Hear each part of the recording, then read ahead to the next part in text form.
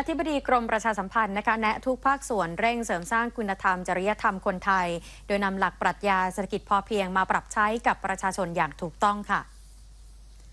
นายจิรายุอิจรางกูลณอยุธยา ผู้อำนวยการสำนักงานทรัพย์สินส่วนพระมหากษัตริย์ เป็นประธานการประชุมขับเคลื่อนโครงการ Thailand Campaign โดยมีนายอภินันจันทรังสีอธิบดีกรมประชาสัมพันธ์ ในฐานะประธานอนุกรรมการด้านการประชาสัมพันธ์ พร้อมหน่วยงานภาคีเข้าร่วมประชุม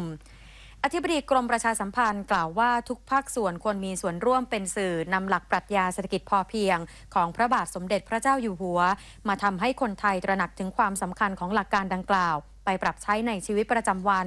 ปฏิบัติได้อย่างง่ายและถูกต้อง เพื่อให้มีทัศนคติที่ดีนำไปสู่การสร้างจิตสำนึกด้านจริยธรรมต่อประเทศชาติ และสังคมส่วนรวม